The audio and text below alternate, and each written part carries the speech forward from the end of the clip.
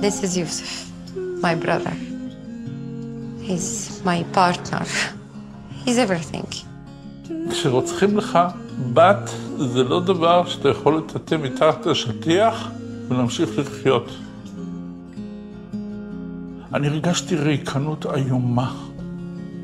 אתה מת לעשות משהו. אז החלטתי שאני לא רוצה לחיות. It's not enough to say I miss him.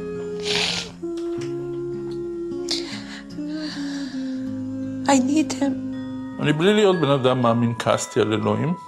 מה אני כבר עשיתי שמגיע לי כזה דבר? אני הייתי מלא ברגשות נקם. I was so upset. I said, no, I will not quit. I will do it.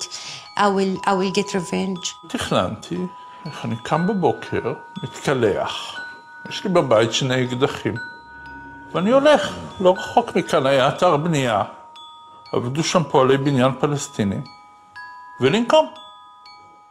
This anger wearing me, moving me. I want to get revenge.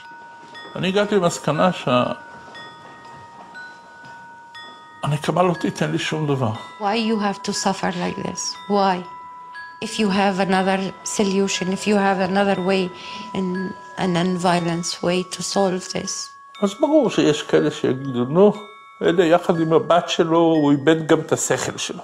A lot of people don't understand what I'm doing, but deeply they know that I don't do something wrong.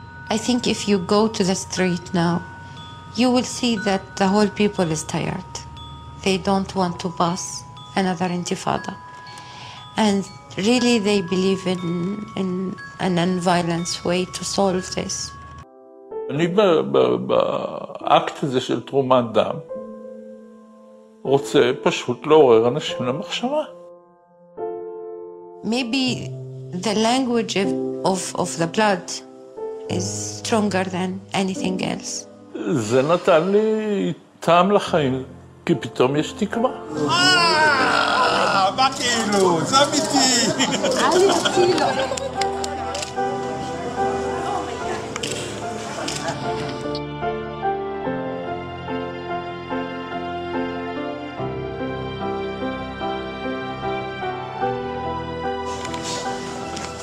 I feel satisfied because I do something.